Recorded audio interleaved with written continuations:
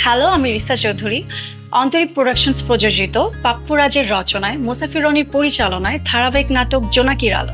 খুব শীঘ্রই আপনারা দেখতে পারবেন এনটিভির পর্দায়। সবকিছু মনে হয়